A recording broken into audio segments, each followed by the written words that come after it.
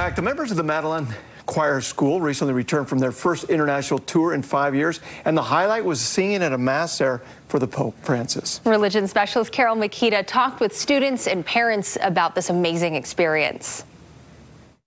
For any faithful Catholic, being in St. Peter's Basilica at the Vatican can be a once in a lifetime pilgrimage.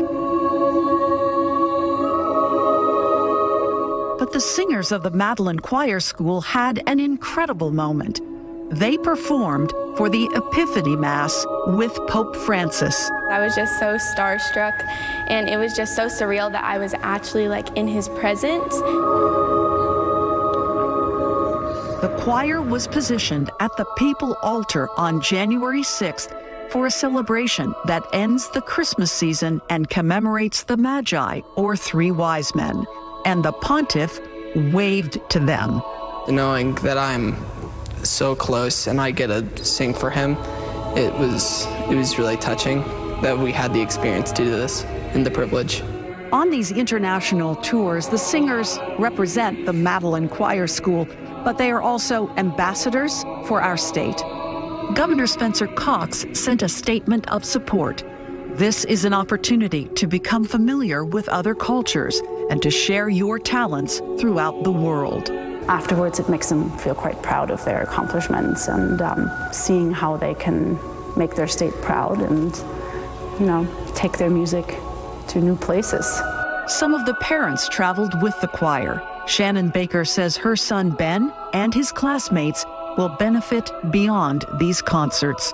They're world travelers. They, they're not scared to be in a country where everyone speaks a different language because of this. Um, they're very open to different cultures, different experiences, um, because they got to experience it on this tour. These young people, fifth through eighth graders, spend many hours a week learning very challenging liturgical music. We have months before rehearsing and practicing the music. And sometimes it's really hard, and it all builds up to this experience that it's just amazing to be a part of. This trip will stay close in my heart. The school's founder, Gregory Glenn, watched the faces in the audiences during this concert tour of Italy. Some wondered, he says, if these children could really perform this music but then they do, and that, that kind of shock really awakens the spirit and, and brings joy, and in some, in some cases, comfort. The experience, they say, will stay with them always. Carole Mikita, KSL 5 News, Salt Lake City.